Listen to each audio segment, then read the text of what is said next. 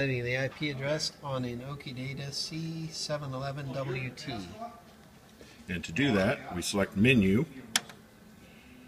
you scroll down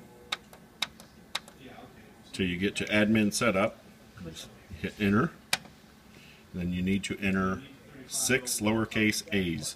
To do that, you hit the, the menu button and then Enter. That was one. That was two, three, four, five, six times, and then hit enter again. And then at this point, you select network setup. So you set select enter. Scroll down.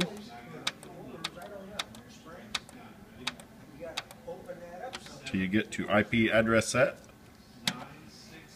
You select it comes in default as auto and you want to select manual. Then you hit the back button. Then you scroll down to IPv4 address select enter. And at this point you scroll up and down to change your numbers as you need